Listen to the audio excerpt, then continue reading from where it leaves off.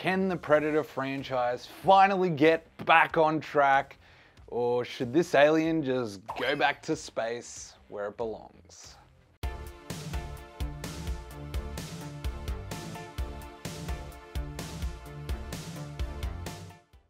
I was initially very skeptical with Prey. After I saw the trailers, I didn't know what to expect. Look, Predator doesn't have the best history as far as its sequels go. They verge on either really cheesy yet fun or really dumpster fire garbage. Everyone thought The Predator was gonna be amazing four years ago. I remember hearing so many people say, oh, but Shane Black's involved. He was involved with the first movie. What could go wrong?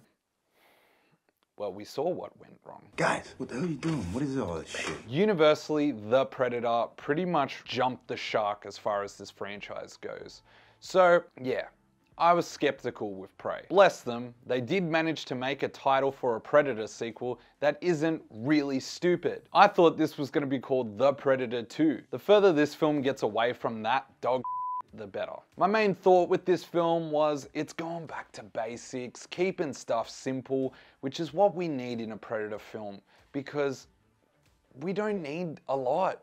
Give us a human character we care about facing off against the Predator and that's it. We don't need to go into the mystery of what the Predator is anymore. We've got enough for that to go off. Another thing that I was a bit worried about going into this was can it ignore all the tropes that plague a bad Predator sequel. Thankfully, this film restored my faith in the Predator franchise. I can honestly say this probably is one of the best Predator sequels. Predator 2 has a soft spot in my heart, but I'm pretty sure I'm blinded by nostalgia, and I'm fully willing to admit that. The main thing I loved is the simplicity of Prey. Predator Crash lands on Earth in the 1700s and trains its hunting skills, working its way up the food chain, first hunting animals and then hunting a tribe of Native Americans. This predator is similar but different. It has advanced weaponry, but it's not the same gadgets we're accustomed to seeing. No blast cannons here, but yeah, the trademark invisibility is still there. This Predator is actually played by a living, breathing actor and is not a CGI dumpster fire like in the last film perfect. This film actually respects the Predator and treats it like a threat with plenty of gory kills. I noticed the blood was CGI and that kind of sucks. Despite that, most of the kills are pretty good to look at. Being that this is a different Predator, I was always intrigued of what's gonna happen next what's going to be the new gadgets? How is this Predator different to the Predators we've seen in other movies? I think that's really intriguing and something that will instantly differentiate this film from other sequels. I really like the build-up of tension. Prey had a really hard, difficult task in that it pretty much had to resurrect a creature and a franchise that has not had one sequel that was any good besides Predator 2 and maybe Predators. I think I revel in the simplicity of the plot of Prey. It's not trying to do 10 million things at once like The Predator did, and it's not trying to explain more behind the scenes of the Predator. I don't think Prey ruins the mystery of the Predator. It sets up everything we know without introducing anything too new or different. The new stuff comes from the fact that we're in a new time period, there's new characters, they have different weaponry, there's the colonists in the background, all that stuff's really good. You see this predator interact a lot with animals. You see it fight a bear and it's actually struggling, like it will have moments where it's not winning in the fight. And what it does, it evens the playing field a bit considering that the Native Americans are very under-equipped to deal with a predator. I like the main protagonist Naru and I like that she has a simple character arc. She's just a hunter that keeps being underestimated by the rest of her tribe and her brother. She's not taken seriously and in trying to prove herself, she's pretty much trying to kill the predator, but also to prove herself as a hunter. It's simple, but it's good.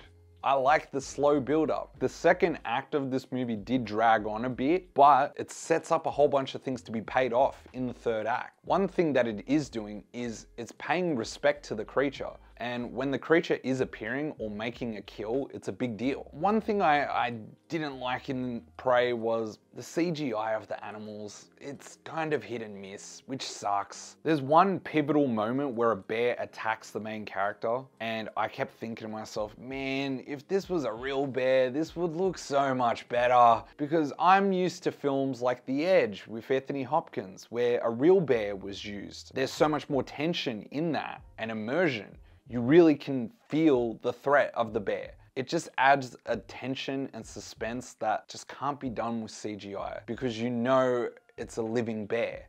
So it sucks, but it doesn't kill the movie for me. It's just like a one small thing that kind of bugs me. If they had just used real animals in some more shots, it, it really would have made a huge difference to my level of immersion. Every time I saw a big CGI animal, I was instantly pulled out and just thought to myself, ah, that's fake. Now getting away from complaining about the CGI, I did notice a lot of on-set, like real life locations being used which is a breath of fresh air after all the past movies I've been watching lately, especially Marvel films where it is super clear as day that they're not shot on location. The environment becomes a character.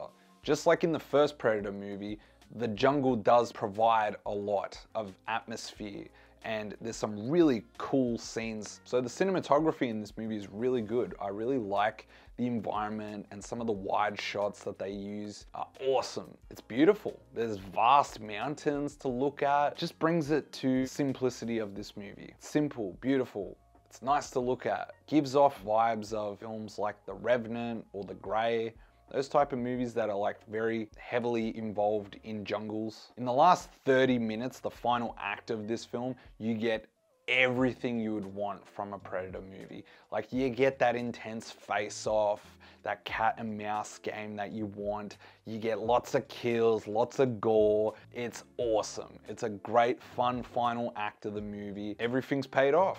It was satisfying to watch. I really enjoyed this movie. Prey is easily one of the best Predator sequels. I guess technically prequel, and I'm giving it four out of five stars, or four out of five spine rips. With real on-location shooting, great cinematography, and a simple to follow story, this film could be interpreted as a coming of age story with a predator. That's cool with me.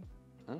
The Predator is back as a simple unstoppable force and this film gave me some fun action, simple tale about survival, improving your worth, and some blood and guts. So if you enjoyed this video, please like, share and subscribe to the channel for more reviews like this. And let me know in the comments below, where would you like to see The Predator next? I personally would love to see The Predator in a future that knows of its existence.